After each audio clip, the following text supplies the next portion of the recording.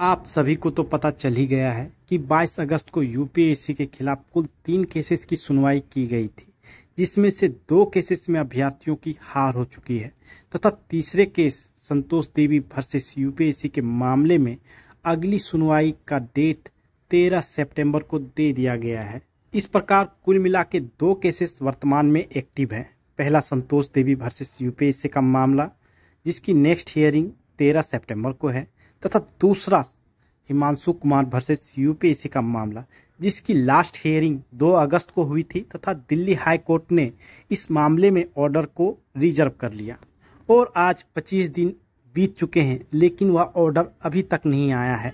अगर Himanshu Kumar versus UPSC मामले में हार भी हो जाती तो उतना हानि नहीं होती जितना कि इस ऑर्डर को जारी करने में डिले किया जा रहा है। क्योंकि अगर हार हो जाती तो आसानी से सुप्रीम कोर्ट में पहुँचा जा सकता था और वहाँ पर केस की हियरिंग आसानी से हो जाती। मैं इस बात को दोहरा दूँ कि हिमांशु कुमार वर्सेस यूपीएससी मामले में जीएस पेपर वन तथा जीएस पेपर टू अर्थात सीसेट दोनों मुद्दों को एक साथ उठाया जा रहा है। जबकि सिद्धार्थ मिश्रा वर्सेस यूपीएससी मामले में जनरली सीसेट के मामले को उठाया गया है। और जब 22 अगस्त को सिद्धार्थ मिश्रा वर्सेस यूपीएससी मामले को दिल्ली हाई कोर्ट द्वारा खारिज कर दिया गया। तो इस केस को अब हाई कोर्ट तक ही ना रोककर इसे सुप्रीम कोर्ट तक ले जाने की तैयारी शुरू कर दी गई है। इस तैयारी में पिटिशनर्स की संख्या भी बढ़ाई जा रही है, ताकि यूपीएससी केवल पंद्रह पिटिशनर्स के आर्गुमेंट को बार बार दोहरा ना सके और जल्द ही सुप्रीम कोर्ट में पिटिशन दायर कर दिया जाएगा। इसके साथ ही कई अन्य राज्यों में भी यूपीएससी के खिलाफ केसेस करने की पहल शुरू कर दी गई है और आने वाले दिनों में हो सकता है कि कुछ और भी केसेस हमें देखने को मिले। साथ ही 2022 में यूपीएससी द्वारा दिए गए गलत आंसर क्यू के खिलाफ भी एक फ्रेश केस दायर करने की पहल शुरू कर दी गई है और वह केस इसी मंथ या अगले मंथ तक दायर कर दी जाएगी।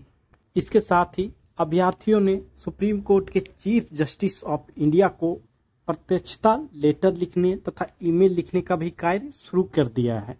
क्योंकि भारत के वर्तमान सीजीआई लगभग सभी ईमेल्स को तथा लेटर्स को खुद ही चेक करते हैं। इसीलिए अभ्यर्थियों ने यह निर्णय सामूहिक रूप से ले लिया है। लेकिन सीजेआई को ईमेल करने में एक समस्या भी आ रही है। वह समस्या है कि एक ही अभ्यर्थी एक ही ईमेल से, एक से अधिक ईमेल्स सीजेआई को भेज रहा है।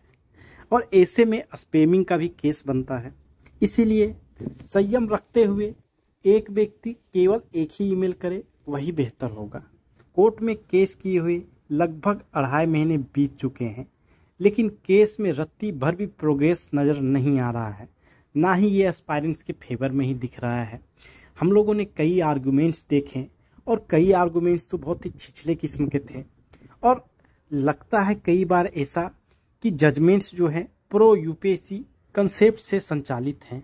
इसके साथ ही यूपीएससी में अभ्यर्थियों ने लगभग सोलह हज़ार रिप्रेजेंटेशंस भी भेजे थे और उन पर यूपीएससी ने क्या कार्रवाई की अथवा नहीं की, इस पर भी एक फ्रेश केस किया जा रहा है। वह केस भी हमें जल्द ही देखने को मिलेगा। क्योंकि अधिकांश अभ्यर्थी यह मान रहे हैं कि यूपीएससी को जितने भी रिप्रेजेंटेशंस मिले थे, लगभग उन्होंने उसे कचरे के ढेर में डाल दिया है। और इसी संदर्भ से वे लोग इसे कोर्ट तक घसीट कर ले जाएँगे। इसके साथ ही दक्षिण भारत के हाई कोर्ट में भी फ्रेश केस करने की पहल शुरू कर दी गई है। सप्ताह या दस दिनों के अंदर वे केसेस हमें देखने को मिल सकती है। इस प्रकार वर्तमान में जिस तरह से पहल की जा रही है, आने वाले समय में आधे दर्जन से अधिक केसेस देखने को मिल सकती है। लेकिन बात फिर जाके वहीं पर रुक जाती है कि क्या इतने सारे केसेस होने के बाद भी अभ्यर्थियों को राहत मिलेगी या फिर यूँ ही यह सिलसिला चलता ही जाएगा।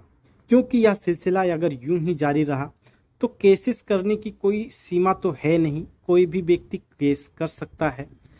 महत्वपूर्ण होता है उसका आउटपुट और वो भी पॉजिटिव आउटकम ये तो वक्त ही बताएगा कि आने वाले समय में इन केसेस का डायरेक्शंस तथा आउटकम क्या होगा। लेकिन वर्तमान में दो केसेस से सर्वाधिक उम्मीदें लगाई जा रही हैं।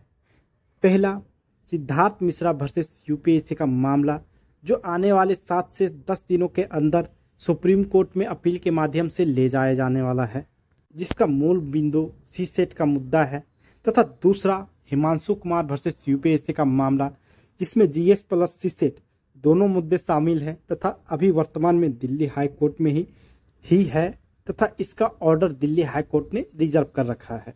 और Himanshu Kumar group Delhi High Court से काफ़ी उम्मीदें लगाए हुए हैं। उनका मानना है कि संभवतः अभ्यर्थियों के पक्ष में ही दिल्ली हाई कोर्ट का निर्णय आएगा। पर जैसा कि मैंने कहा, यह मात्र एक संभावना है और अगर दिल्ली हाई कोर्ट अभ्यर्थियों के विपक्ष में विरोध में फैसला दे देती है तो फिर हिमांशु कुमार वर्सेस यूपीएससी के मामले को सुप्रीम कोर्ट में अपील के माध्यम से ले जाया जाएगा। पर इतना लंबा समय होता किसके पास है? अभ्यर्थियों का सब्र का बाँध भी टूट चुका है और इसीलिए अब थोड़ा उदासी, छाना तथा मन खट्टा होना स्वाभाविक ही है। और इसीलिए अब कई अभ्यर्थी मूव ऑन कर चुके हैं, तथा जो जिद्दी प्रकार के अभ्यर्थी हैं तथा जो यह मानते हैं कि यूपीएससी ने हमारे साथ गलत किया है, वे अभी भी अटूट रूप से खड़े हैं तथा अपने अधिकारों के लिए लड़ रहे हैं। तो जैसा कि हमें हर लड़ाई में देखने को ही मिलता है कि भांति भांति के लोग उस ग्रुप से जुड़ते हैं, उस आंदोलन से जुड़ते हैं। इसी प्रकार इस आंदोलन में भी वैसा ही हुआ है। इस बार सुप्रीम कोर्ट में पिटिशन फ़ाइल करने से पहले पिटिशनर्स की सारी बैकग्राउंड डिटेल्स भी निकाली जा रही है, क्योंकि जनरली यह देखा गया है कि जजेस जो हैं पर्सनल इंफॉर्मेशन पिटिशनर के पूछ लेते हैं, तथा उसके आधार पर केसेस के मेरिट्स को डिसाइड भी करते हैं। जैसा कि पिछली सुनवाई में हुआ था जब दिल्ली हाई कोर्ट के जज ने पिटिशनर्स के एजुकेशनल बैकग्राउंड तथा वे पिटिशनर्स कितनी बार सीसेट में क्वालिफाई कर चुके हैं, ऐसे आंकड़े मांग लिए थे। और इसीलिए इस बार जो पिटिशन फ़ाइल किया जा रहा है, वे सारे आंकड़ों को ध्यान में रखते हुए तथा उन आंकड़ों को गेदर करते हुए आगे बढ़ा जा रहा है। अब बात आंदोलन की। 22 अगस्त के निर्णय के बाद लगभग सभी का एक मत था कि एक मैसी प्रोटेस्ट आयोजित किया जाए। लेकिन दिल्ली पुलिस द्वारा परमिशन ना दिए जाने के कारण तथा दिल्ली में जी ट्वेंटी का सम्मिट होने के कारण इस आंदोलन को परमिशन नहीं दिया गया। और अगर इतने कम संख्या बल से यह आंदोलन शुरू किया जाता तो बहुत ही कम समय में दिल्ली पुलिस द्वारा इसे कुचल दिया जाता। आप अभी इस तथ्य से पूरी तरीके से अवगत हो चुके होंगे कि दिल्ली अभी पूरी तरीके से हाई अलर्ट में है, क्योंकि दिल्ली में 8 सितंबर से 10 सितंबर तक जी ट्वेंटी का समिट होने वाला है, तथा विश्व के विभिन्न देशों के राष्ट्र अध्यक्ष भारत आने वाले हैं। इसीलिए सिक्योरिटी से किसी भी प्रकार का समझौता नहीं किया जा सकता है। साथ ही दिल्ली पुलिस को कुछ स्पेशल पावर भी दे दिए गए हैं वह तथा अन्य राज्यों के कई सारे डीसीपी को दिल्ली में मंगवाया गया है ताकि सुरक्षा इंतज़ाम श्रेष्ठ किस्म के हो सकें। और दिल्ली में सुरक्षा इंतज़ाम इस कदर किया जा रहा है कि आने वाले समय में दिल्ली में मूवमेंट करना भी आसान नहीं होगा। लोग एक स्थान से दूसरे स्थान भी नहीं जा पाएँगे और ये लगभग 10 सितंबर तक जारी रहेगा। तो कुल मिला के जी ट्वेंटी शिखर सम्मेलन ने इस प्रोटेस्ट को निगल लिया। और यदि भविष्य में कोई प्रोटेस्ट का आयोजन किया भी जाएगा तो 10 सितंबर के बाद ही किया जा सकेगा। बाकी केसेस के जैसे जैसे अपडेट्स आते जाएँगे वैसे वैसे आपको इसी चैनल के माध्यम से अपडेट मिल जाएगा। धन्यवाद।